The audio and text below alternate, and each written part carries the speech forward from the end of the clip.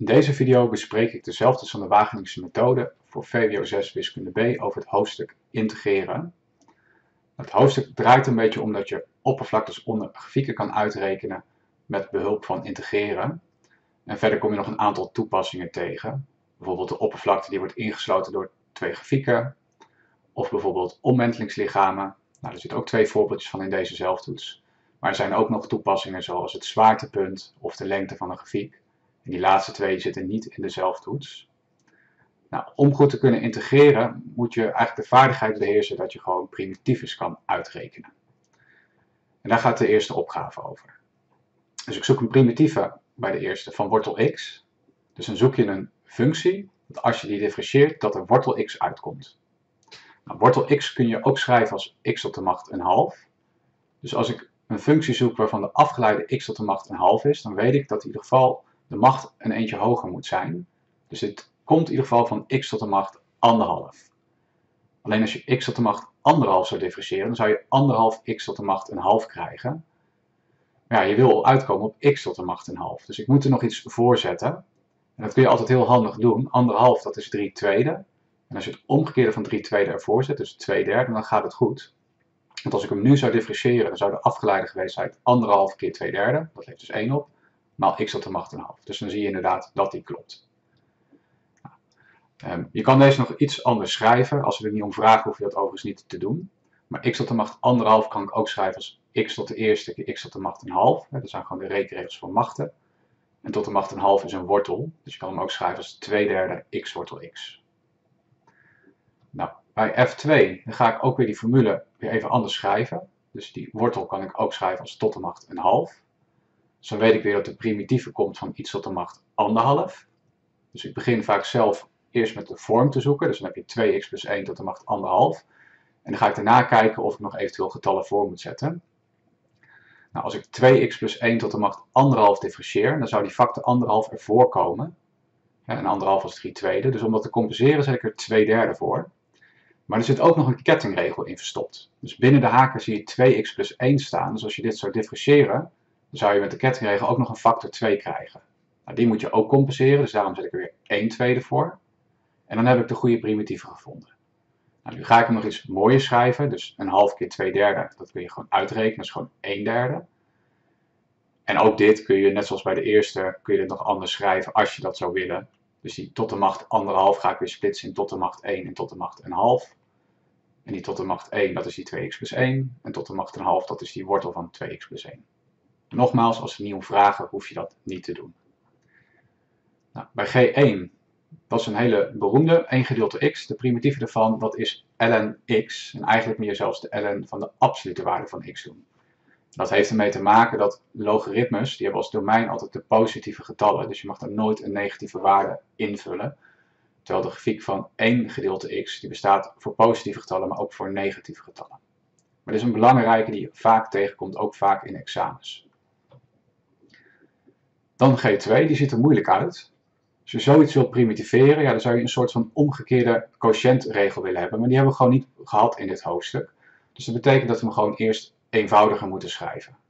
Dus deze deling kan ik ook op deze manier schrijven. Dus dan splits ik hem als het ware. En die 4x kwadraat gedeeld door 2x, daar kan ik net zo goed 2x van maken. En die 1 gedeeld door 2x ga ik ook nog vereenvoudigen tot een half maal 1 gedeeld door x. En dan pas ga ik hem primitiveren. De primitieve van 2x, dat is x kwadraat. Nou, 1 gedeelte x, dat wordt weer de ln van de absolute waarde van x. En die factor een half, die zet je er dan gewoon voor. Dan h. Exponentiële functies, die zijn, worden vaak lastig gevonden. Maar probeer altijd eerst te bedenken van, wat is de afgeleide van 2 tot de x? Dat zou zijn 2 tot de x keer ln 2. Dus de afgeleide lijkt heel erg op de gewone functie. Dus dan weet je eigenlijk ook dat de primitieve ook iets zou zijn met 2 tot de x. Alleen, ja, als je 2 tot de x differentiëren, dan krijg je nog een factor ln2 ervoor. Dus die moet ik compenseren, dus daarom zet ik er 1 gedeelte ln2 nog voor. En dan gaat het goed. Dan h2. Hier ga ik eerst nog iets anders schrijven. Oh, ik heb hier nog één stap om te vereenvoudigen. Ik ging al iets te snel. Dus die 1 gedeelte ln2, die kan je ook schrijven als 2 tot de macht x gedeeld door ln2. Nou, bij h2 ga ik hem eerst anders schrijven. Die 2 gedeeld door e tot de x'te, die kan ik ook schrijven als 2 maal en dan e tot de x'te tot de macht min 1. He, tot de macht min 1 betekent eigenlijk gewoon 1 gedeeld door. Dan de van machten, die zeggen als je de haakjes wil uitwerken, dan moet je die exponenten keer elkaar doen. Dus ik wil er ook van maken e tot de macht min x. En nu pas ga ik hem primitiveren. Nou, de afgeleide van een e-macht is altijd gewoon een e-macht. Dus de primitieve zal ook van die vorm zijn. Dus de primitieve wordt dan 2ex. En dan min 2e tot de macht min x. Nou, waarom zit die min erin? Ook hier zit een kettingregel in verstopt. Als je namelijk e tot de macht min x differentieert, dan zou de afgeleide zijn e tot de macht min x keer afgeleide van min x. En dat is min 1. En die min wil je dan compenseren en dat kun je dan doen door er gewoon een min bij te zetten. Nou, dat kun je nog uitwerken als je dat zou willen. Dus die e tot de macht min x, dat kun je weer schrijven als 1 gedeeld door e tot de x'te. En die 2 kun je dan boven de streep zetten. Maar nogmaals, als ze daar niet om vragen, hoef je dat niet te doen. Dan opgave 2. Daar krijg je een primitieve. Alleen er zitten nog twee onbekenden in, de letter a en de letter b. En ze geven aan dat het een primitieve is van 4 sinus kwadraat x. En dan vragen ze, bereken nou wat a en b moeten zijn. Nou, we weten in ieder geval dat als je een primitieve differentieert, dan komt de functie eruit. Dus we gaan gewoon beginnen met die primitieve te differentiëren. Nou. En hou in gedachten, die a is gewoon een constante. Dus a maal sinus 2x. Nou, de afgeleide van een sinus is een cosinus, dus het wordt iets als a cosinus 2x. Alleen er zit nog een kettingregel in, omdat er tussen de haakjes van die sinus 2x staat. Dus je moet nog de afgeleide van 2x nemen, dat is nog een factor 2. Nou, de afgeleide van bx, hè, dan houden we weer in gedachten, b is gewoon een getal. Nou, die afgeleide is dus gewoon b. Maar aan de andere kant, ik weet dus ook dat dit gelijk moet zijn aan die 4 sinus kwadraat x. Alleen hoe die nu er staat vind ik het nog te moeilijk, dus ik ga hem eerst nog even iets anders schrijven. Dus die a keer cosinus 2x keer 2, daar kan ik natuurlijk ook van maken 2a maal cosinus 2x. Hè, want bij vermenigvuldigen maakt de volgorde niet uit. Ja, en nu ga ik een regel van goniometrie erbij pakken. Die cosinus 2x, daar hebben we verdubbelingsformules voor. Dus we gaan er eigenlijk een beetje vanuit dat je formules voor cosinus 2x, maar ook voor sinus 2x, dat je die nog een beetje kent. Dus die komen best wel vaak voor. En de cosinus van 2x kan ik ook schrijven als 1 min 2 sinus kwadraat x. Nou, dan werk ik nog even de haakjes uit. Dus dan krijg ik 2a keer 1, dus 2a. En je krijgt 2a keer min 2 sinus kwadraat, dus dat is die min 4a sinus kwadraat x. En dan nog die plus b. Nou, ik zei het al net. Uh, we weten dat de afgeleide van de primitieve, dat is gewoon de functie. Dus wat ik hier, hierop staan, dat moet dus gelijk zijn aan die 4 sinus kwadraat x. En nu wil ik getallen voor a en b kiezen, zodat links en rechts hetzelfde staat. Nou, als ik dat doe, dan ga ik gewoon eerst kijken wat er voor de sinus kwadraat staat. Dus aan de linkerkant staat er min 4a voor de sinus kwadraat en rechts staat er 4 voor. Dus dan weet ik dat die min a, min 4a, gelijk moet zijn aan 4. Verder zie ik links nog losse getallen staan, die 2a en die plus b. En rechts staat dat niet. Dus dan weet ik ook dat 2a plus b gelijk aan 0 moet zijn. Nou, dit kan ik gewoon oplossen. Dus als ik daar links begin met die min 4a is 4, dan weet ik dat a min 1 moet zijn. En als je dat in die rechter stukje invult, dan krijg je dus 2a, dus 2 keer min 1, dat is min 2, plus iets en er moet 0 uitkomen. Dus de b moet dan 2 zijn. Dan opgave b. Nou, aanpak is op zich hetzelfde, alleen de primitieve is in dit geval gewoon wat lastiger. Dus ik begin met die f, dus de hoofdletter f, te differentiëren. Alleen als ik er goed naar kijk, a sinus x keer die e-macht, daar zit een product in en in beide termen zit iets met x. Dus ik heb hier echt dadelijk een productregel nodig. En voor dat tweede stuk, dus heb je nog iets met die cosinus keer een e-macht, dan zal ik dus nog een keer de productregel nodig hebben. Dus dit is uh, vooral een hoop uitschrijfwerk. Maar als we dat gaan doen, focus ik me eerst even op die term met de sinus erin. Dus dan krijg je de productregel. Je schrijft het eerste stukje over, dus a sinus x. Dan neem je de afgeleide van die e-macht. Dus dan krijg je e tot de macht min x keer min 1. Die keer min 1 komt door de kettingregel, dus de afgeleide van wat er in de lucht staat. Plus, dan ga ik het andersom doen. Dus dan moet ik die a sinus x differentiëren. Dus dat is a cosinus x. En dan schrijf ik die e-macht over. Nou, iets vergelijkbaars gaan we doen met die tweede term. Dus dan begin ik met die b cosinus x over te schrijven. En dan ga ik die e-macht weer differentiëren. Dus dat is die e tot de min x keer min 1. En dan doen we het andersom, dus dan moet ik b cosinus moet ik differentiëren. Nou, de afgeleide van de cosinus was min de sinus, dus dan krijg je b maal min sinus x. En dan schrijf je die 1 nog erover. Nou, nu proberen we dit wat te vereenvoudigen. Nou, het valt mij op dat in alle stukken zit e tot de macht min x, dus die haal ik in ieder geval vast buiten haakjes. Daarna ga ik termen die bij elkaar horen, ga ik bij elkaar zetten. Dus we hebben termen waar sinus in voorkomt en we hebben termen waar cosinus in voorkomt. Dus ik heb min a keer de sinus en ik heb min b keer de sinus. Dus dan kan ik het net zo goed even samen nemen als min a min b maal de sinus. En bij de cosinus heb je een a ervoor staan en min b ervoor staan. Dus kan ik ook van maken a min b maal de cosinus. Nou, ik weet weer dat de afgeleide van de primitieve, dat is de gewone functie. Dus ik weet wat hier uit moet komen. Hier moet dus die sinus maal e tot de macht min x uitkomen. Nou, nu wil ik weer getallen voor a en b kiezen, zodat dit klopt. Nou, we zien in ieder geval aan beide kanten die 1 macht staan, dus die kun je eigenlijk net zo goed al even vergeten of weglaten. Maar wat mij opvalt is dat rechts staat in ieder geval niks met de cosinus en links wel. Dus je moet zorgen dat die cosinus eruit valt, dus die a min b, die zal 0 moeten zijn. Verder heb ik rechts gewoon een sinus, dus die min a min b die links staat, die moet weer gelijk aan 1 zijn. En dan klopt het links en rechts. Dus er volgt uit a min b is 0 en die min a min b die moet 1 zijn. Nou, uit dat eerste stukje volgt dan dat a gelijk aan b is. En als ik dat in dat tweede stukje dat invul, dan staat er min a, min nog een a en dan komt 1 uit. Dus min 2a is 1 en dan vind je a is min een half. En als je weet wat a is, die was ook gelijk aan b, dus b is dan ook min een half.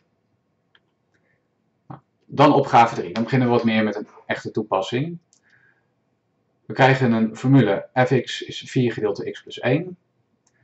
Dan bekijken ze het, uh, de oppervlakte op het interval 1 tot 3. En die is groen gearceerd. En dan willen ze weten hoe groot is die oppervlakte. Nou, hoe pakken we het aan? Dan schrijf je eerst altijd netjes de integraal op. Dus je krijgt dan de integraal van 1 tot 3 van 4 gedeelte x plus 1 dx. En die wil ik uitrekenen. Nou, in de vraagstelling staat dat het exact moet. Dus je mag dit niet met uh, eh, FN doen, zo'n optie op de grafische rekenmachine. Dus we zullen dit even met de hand moeten doen. Dus dan moet ik een primitieve zoeken van die 4 gedeelte x plus 1. Daar gaat het eigenlijk een beetje op neerkomen. Nou, de primitieve daarvan is 4 maal de ln van x plus 1. want bedenk altijd, de ln van iets, als je die differentieert, dan krijg je altijd 1 gedeeld door wat er binnen de haken staat. Dus de afleiding van ln van x plus 1 is dan 1 gedeelte x plus 1. En als je er nog 4 voor zet, dan klopt dat dus. Dan moet je de grenzen 3 en 1 invullen. Dus dan krijg je als je 3 invult, krijg je 4 en een 4. En als je 1 invult, krijg je 4 en een 2. En die twee antwoorden moet je dan van elkaar afhalen. Nou, dit kunnen we korter schrijven. Want de rekenregel voor logaritmes eh, zegt, als je logaritmes van dezelfde soort van elkaar afhaalt, dan moet je het gewoon binnen de haken op elkaar delen. En hou gewoon in gedachten, de rekenregels voor logaritmes gelden dus ook voor ln. Want ln is gewoon een speciale logaritme. Het is gewoon de natuurlijke logaritme, oftewel de e-log. Dus dit kan ik ook vereenvoudigen tot 4 maal de ln van 4 tot de tweede. Of niet 4 tot de tweede, 4 gedeeld door 2. Dus dat is 4 ln 2. En je kan zelfs nog die factor 4 die voor de logaritme staat, die kan ik ook binnen de haakjes halen. En dan komt die als een macht erin. Dus dat is ook een van die regels van logaritmes. Dus heb je ln van 2 tot de vierde, oftewel ln van 16. Dan opgave B. Daar gaan we de grafiek van f gaan we wentelen om de x-as. Dus het is belangrijk dat je dan meteen weet welke integraal je moet opstellen. We gaan eerst even een beetje een beeld, dat je weet hoe dat eruit ziet. Uh, hier zie je een beetje een driedimensionaal plaatje. Dus als je die grafiek wentelt, krijg je deze figuur. En daar willen we de inhoud van weten. Nou, als je grafiek wentelt om de x-as, dan is de formule altijd pi kwadraat dx. Nou, die kun je natuurlijk uit je hoofd leren, maar ik hoop dat je hem gewoon probeert te begrijpen. Dus als je die rode ruimtelijke figuur ziet, hoe zou je dan de inhoud kunnen uitrekenen? Wat je eigenlijk gewoon gaat doen is, je gaat er allemaal plakjes van maken. En die plakjes die hebben dus steeds de vorm van een cirkelschijf. En een cirkel, een schijf, als je daar de inhoud van wil uitrekenen, dat is eigenlijk gewoon de oppervlakte van de cirkel keer de dikte. En de oppervlakte van de cirkel, dat is pi r kwadraat. Alleen de straal in dit verhaaltje, die kun je mooi in het onderste plaatje zien, dat is eigenlijk gewoon de hoogte. Dus eigenlijk gewoon de i. Dus dat is eigenlijk gewoon de straal van zo'n cirkelschijfje. Dus vandaar dat je de formule krijgt pi kwadraat, dus dat is gewoon de oppervlakte van de cirkel. En die dx die kun je zien als de dikte van het cirkelschijfje. En het idee is weer, als je die cirkelschijfjes heel dun maakt, dan gaat zeg maar wat je normaal delta x zou noemen, als je die heel klein maakt, dan gaat dat naar dx toe. En dat integraalteken betekent dus eigenlijk gewoon dat je al die cirkelschijfjes tussen 1 en 3 aan het optellen bent. Alleen het lastige nu is, we hebben in de formule staan i en daarachter staat dx. Dus dat betekent, we zijn aan het integreren naar de letter x. Dus die formule die er staat, moet ook iets met x worden. Nou, dat is in dit voorbeeldje vrij eenvoudig, want we hebben gewoon de formule voor i, dat is die 4 gedeelte x plus 1. Dus die ga ik gewoon invullen. Dus dan krijg je pi maal onze i, dus 4 gedeelte x plus 1 in het kwadraat. Nou, dat kun je nog, hè, voordat je het gaat primitiveren, zou ik je aanraden, werk gewoon even de haakjes uit. Dus als je dat doet, krijg je dan 16 gedeelte x plus 1 in het kwadraat. Of als je dat handiger vindt, en dat vind ik handiger, schrijf je dat als 16 maal x plus 1 tot de min tweede. tot de macht min 2 betekent altijd gewoon 1 gedeeld door, maar dan tot de macht plus 2. Dan gaan we op zoek naar een primitieve. Dus dan begin ik gewoon met een stukje van x plus 1 tot de min tweede.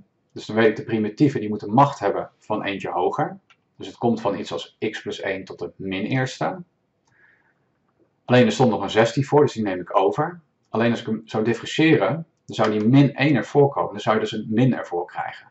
Dus door er een extra min bij te zetten, compenseer je dat weer. Dus als je hem nu zou differentiëren, dan zou je krijgen min 1 keer min 16, dus dat is plus 16. En dan x plus 1 tot de macht eentje lager, tot de macht min 2. En dan zie je weer dat het klopt. Dan moeten we de grenzen 3 en 1 invullen. Nou, voordat ik dat doe, vind ik het zelf fijn om hem weer even terug te schrijven. Dus die x plus 1 tot de min eerste kan ik ook lezen als 1 gedeeld door x plus 1. En die 16 kun je dan boven de streep zetten. En dan ga ik die 3 en die 1 invullen, want dan kan ik het zelfs uit mijn hoofd wel uitrekenen. Dus dan krijg je min 16 gedeeld door 3 plus 1, min, en dan min 16 gedeeld door 1 plus 1. En als je dat gewoon uitwerkt, dan staat er min 4 plus 8, en dan moet nog allemaal keer pi. Dus dan komt er 4 pi uit. Maar belangrijk is dus dat je goed weet, als je iets wentelt om de x-as, dat de basisformule dus is de integraal van pi kwadraat dx. Dan de volgende opgave. Ook dit soort dingen kom je vaak op examens tegen, dat je gewoon een gebiedje krijgt wat wordt ingesloten door twee grafieken. En hoe je dat dan eigenlijk aanpakt is, je moet eerst de grenzen bepalen, dus de snijpunten van die twee grafieken. En daarna neem je gewoon de integraal van de grafiek die boven ligt min de grafiek die onder ligt. En dat kun je in één keer doen, maar je kan het ook splitsen. Je kan ook zeggen, ik reken eerst de integraal uh, van g uit, dus de oppervlakte onder g. Daarna reken ik de oppervlakte onder f uit en ik haal die twee antwoorden van elkaar af. Maar ik vind het zelf prettiger om dat gewoon in één keer te doen. Dus als ik dat in het voorbeeldje doe, ik moet eerst bepalen wat de formule voor g is, want in de tekst stond dat f sinus van x is en g is de grafiek die dan 1 derde pi naar links wordt geschoven. En dat kun je gewoon voor elkaar krijgen door overal in de formule de x te vervangen door x plus 1 derde pi. Dus dan krijg je gx is de sinus van x plus 1 derde pi. Nou, dan willen we de snijpunten uitrekenen. Dus dan moet ik de vergelijking oplossen. f is gelijk aan g, dus sinus x is de sinus van x plus 1 derde pi. Nou, dan doe je aan beide kanten sinus invers, dus dan krijg je x is x plus 1 derde pi, plus k maal 2 pi, want je kan ook altijd een periode verder gaan. Of x is pi min, en dan die x plus 1 derde pi plus k maal 2 pi. Deze beide takken moet je dan uitwerken. Dus ik ga er even vanuit dat je nog een beetje weet uh, hoe je die vergelijkingen oplost. Nou, mocht je dat niet weten, dan moet je maar eens de video kijken die ik daarover gemaakt heb. Nou, die linker tak, die heeft geen oplossingen. Want je zou dan links en rechts x weg willen halen en dan staat er 0 is gelijk aan 1 derde pi. Dat kan natuurlijk niet waar zijn. Maar die rechter tak die heeft wel oplossingen. Dus als ik dit gewoon uitwerk, dan krijg ik x is gelijk aan uh, 2 derde pi. Dus dan heb ik vast die 1 derde pi binnen de haken van die pi afgehaald. En je hebt nog min x. Dan breng je de x naar één kant. Dus dan heb je 2x is 2 derde pi plus k maal 2 pi. Dan deel ik alles door 2. En dan moet je ook altijd aan denken dat je ook de periode, dus die k maal 2 pi, door 2 deelt. Dus krijg je k maal pi. Dus de oplossingen die je vindt zijn dan 1 derde pi, 1 1 derde pi enzovoort. Maar je mag ook best pi ervan afhalen. Dus bijvoorbeeld min 2 derde pi zou ook goed zijn. Dus in deze situatie, als je in het plaatje kijkt, dan zal dat rechtersnijpunt zal bij 1 derde pi zitten en de linker zal dus zitten bij min 2 derde pi. Oké, Dan stellen we de integraal op. Dus ik ga integreren van min 2 derde pi tot 1 derde pi. En dan doe ik dus de bovenste grafiek, dus sinus x plus 1 derde pi, min de grafiek die eronder ligt, dus de sinus van x. Nou, dan moet ik van beide moet ik een primitieve vinden. Nou, primitieve van een sinus, dat zal iets met cosinus zijn. Alleen als je cosinus differentieert, krijg je altijd min de sinus. Dus ik zal er nog een extra min voor moeten plakken. Dus dan is min cosinus x plus 1 derde pi, dat is de primitief van het eerste stukje. En als ik de primitief van min sinus x zoek, dat is dan cosinus x. En dan zet je weer netjes die grenzen erbij. Dan is het een kwestie van vul eerst 1 derde pi in en reken dat uit en haal er dan vanaf als je min 2 derde pi invult. Nou, als ik dat doe, als ik 1 derde pi invul, dan krijg ik min cosinus van 2 derde pi plus de cosinus van 1 derde pi. Min, en dan ga ik die andere grens invullen. Dus krijg je min cosinus van, nou, als je min 2 derde pi invult daar, dan krijg je min 1 derde pi plus de cosinus van min 2 derde pi. Nou, dit zijn allemaal mooie waardes. Dus als je dit gewoon uitrekent, dan krijg je uit het eerste deel een half plus een half. In het rechte deel krijg je juist min een half, min een half. En je moet die twee van elkaar afhalen. Dus als je het uitwerkt, kom je op 2 uit. Nou, het moest weer exact. Maar als je bang bent dat je rekenfoutjes maakt, kun je op een toets natuurlijk vrij snel controleren door het gewoon op je grafische rekenmachine even te doen. Dus dan kun je gewoon met de optie, tenminste als je een TI-84 hebt, met de optie fn int, kun je dit gewoon heel snel uitrekenen. Je zit in het menu mat, krijg je gewoon invulvakjes bij zo'n integraal. Ook dat, mocht je dat lastig vinden, ik heb ook uitlegfilmpjes over de GR. Dan opgave 5. Dat is de lastigste die ertussen zit. Dan krijg je de grafiek van wortel x. Dan hebben ze een verticale lijn getekend, hè, het lijnstukje AB. Daar zetten ze een middelloodlijn op. Dus een loodrechte lijn die door het midden van AB gaat. Die snijdt de grafiek van f in een of ander punt. En dan wordt de oppervlakte onder de grafiek van f wordt dan in twee gebiedjes verdeeld. Dus in dat groene stuk en in dat witte stuk. En er wordt dan beweerd dat de oppervlakte dat dat zich verhoudt als 5 staat tot 11. Nou, hoe pakken we dat aan? Het is gewoon handig om eerst eens gewoon even wat namen te introduceren. Dus ik ga gewoon het snijpunt van de middenloodlijn met de grafiek, die ga ik gewoon even Q noemen. De x-coördinaat van punt A, die ga ik gewoon kleine a noemen. Nou, omdat de grafiek y is wortel x is, dan weet ik ook dat de y-coördinaat dus wortel a is. Nou, dat zetten we ook weer even in het plaatje erbij. Ik weet dat q, dat was een, die, die, die vond je door de middelloodlijn, dus die heeft als hoogte de helft van die wortel a. En dan kan ik ook de x-coördinaat van q uitrekenen. Want ik weet dat y-coördinaat een half wortel a is. En de y-coördinaat, die had formule wortel x. Dus dan moet ik eigenlijk oplossen. Wortel x is gelijk aan een half wortel a. Nou, ga ik die half ook even als een wortel schrijven. Dus een half is de wortel van een half in het kwadraat, dus van een kwart. Nou, bij wortels vermenigvuldigen kun je dat samen nemen. Dus dat is ook al de wortel van een kwart a. Dus staat de wortel van x is de wortel van een kwart a. Dus dat betekent dat x een kwart a is. Dus dan weet ik ook de x-coördinaat van q en die zet ik ook in het plaatje er even bij. Nou, er ontstaan nu eigenlijk drie gebiedjes. Ik noem ze gewoon even 1, 2 en 3. Dus in het plaatje kun je zien wat, welke gebiedjes ik bedoel. En dan ga ik nu pas beginnen met uitrekenen van die oppervlaktes. Nou, oppervlakte 2 is het makkelijkst, want dat is gewoon een rechthoek. En de breedte van die rechthoek, dat is a min een kwart a, dus dat is 3 kwart a. En de hoogte is een half wortel a. En als ik dat nog even iets vereenvoudig, 3 kwart keer een half, dat is gewoon 3 achtste. Dus dan heb je 3 achtste a wortel a. Dan ga ik oppervlakte 1 uitrekenen.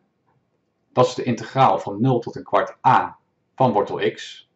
Nou, dan moet je een primitieve van wortel x zoeken.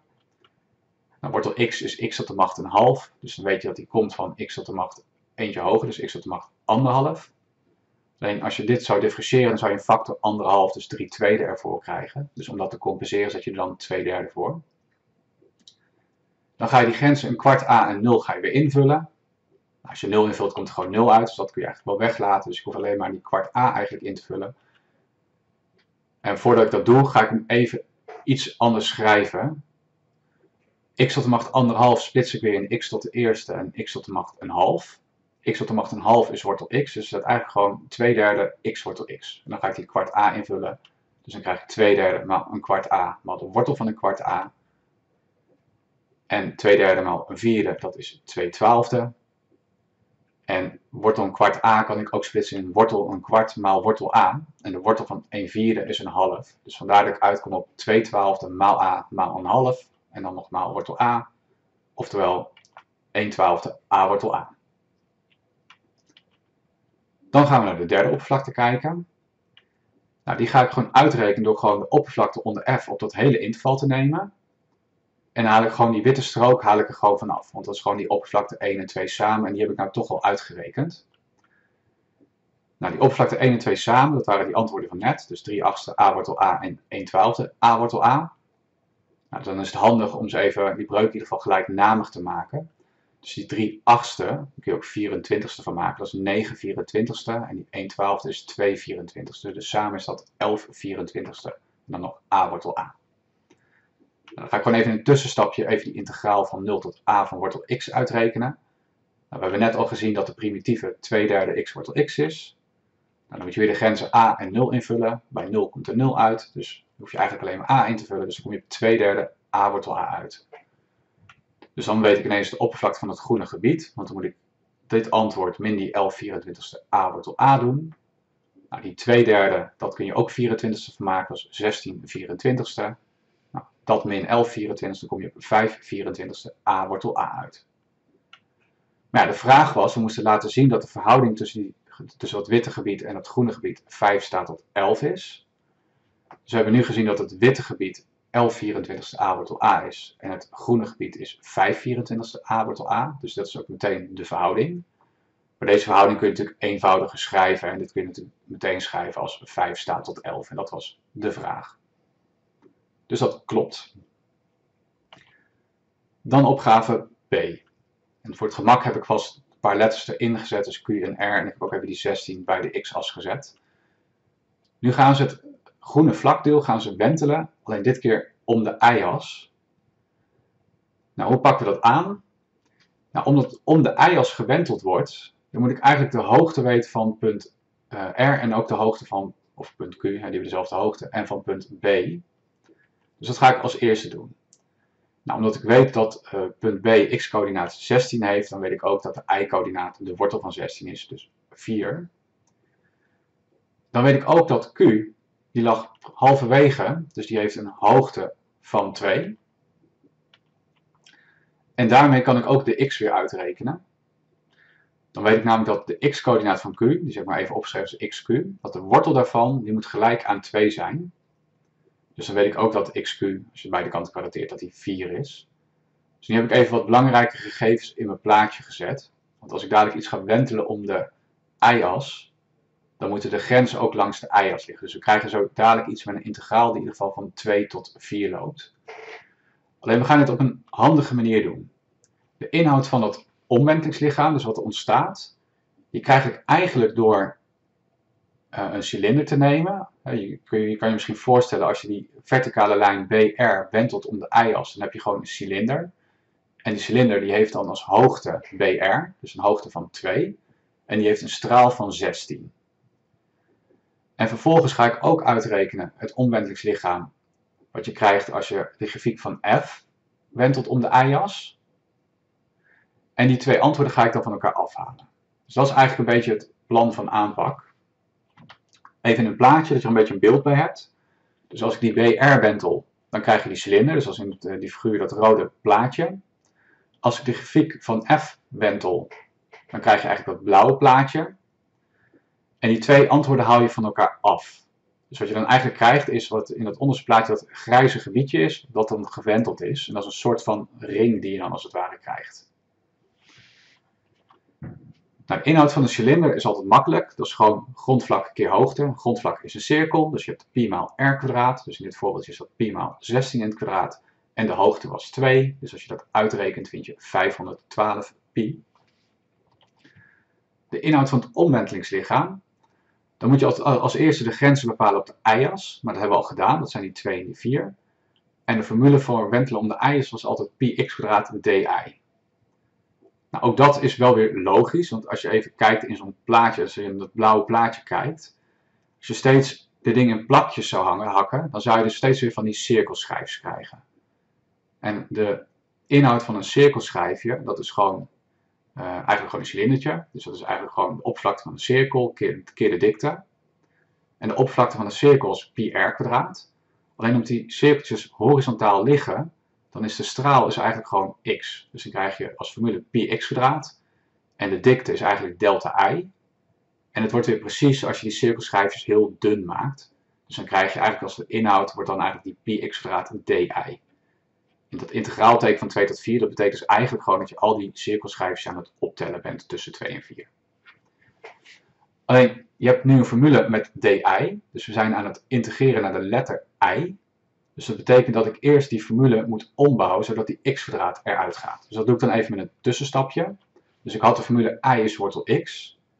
Maar als ik aan beide kanten kwadrateer, kan ik ook zeggen x is i kwadraat. En die x ga ik dan invullen.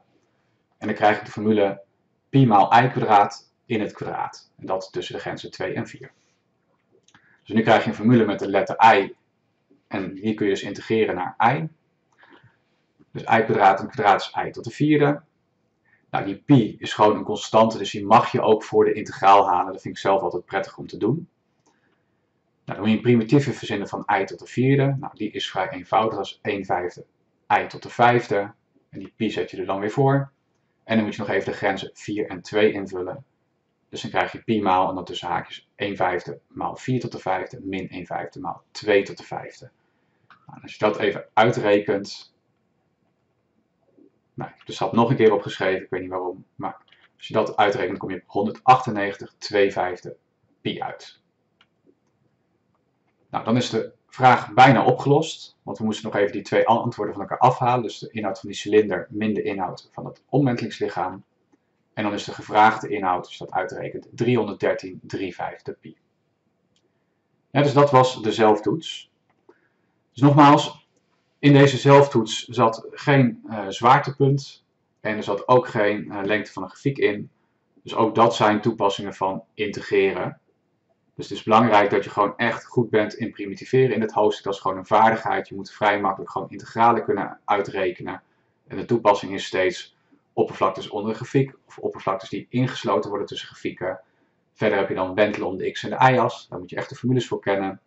En dan heb je nog van die toepassingen als lengte van de grafiek en het zwaartepunt. En dat is eigenlijk de hoofdlijn van dit hoofdstuk. Nou, ik hoop dat je er wat aan had.